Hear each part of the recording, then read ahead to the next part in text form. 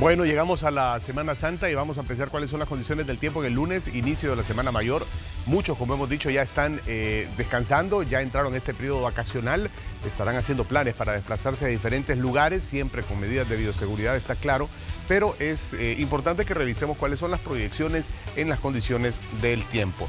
Eh, no mucha actividad aquí en la parte del Atlántico, de hecho la zona de convergencia y se alcanza a ver apenas y eso habla mucho de que podemos comenzar por apartar las posibilidades de sistemas asociados a lluvias, eh, aunque sea dispersas. Siempre existen levemente en cuanto que nos encontramos dominados por una cadena volcánica, volcán de San Salvador, etcétera, donde eh, son sectores eh, donde prevalece la posibilidad siempre de que haya lluvia por toda la humedad que atraen. Pero eso es muy focalizado, muy generalizado en ese, en ese sector nada más, nada que afecte en concreto al país.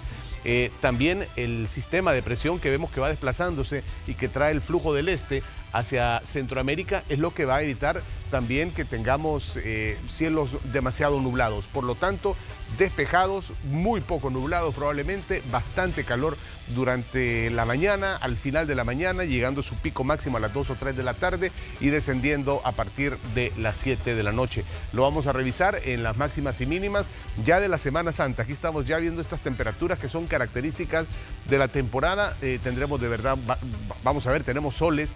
Eh, eh, aquí con pocas nubes, lo vamos a ver en el gráfico, nos trasladamos a esa imagen para enseñarle a usted que tenemos cabal, le dije, mire, cuatro soles sin nubes, uno, dos, tres, cuatro, de lunes a jueves. Las máximas, fíjese usted, no baja de los 33 grados. ¿Cómo, ¿Cómo es esto de que ya estamos en la Semana Santa y así es la naturaleza? Justo estamos en esta semana que va a ser de las más cálidas, de las más, eh, en las que habrá más humedad, un poquito más de calor. El termómetro no va a bajar de los 18 grados, es lo que está previsto para ninguno de estos cuatro días.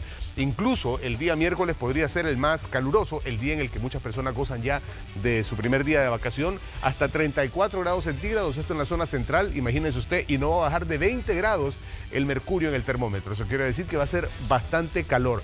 Es la proyección que tenemos para estos primeros cuatro días de Semana Santa. Tómalo en consideración, ropa holgada, ropa fresca, eh, también la hidratación importantísima, eh, hidratación eh, pues con refresco, ¿verdad? Con agüita y demás.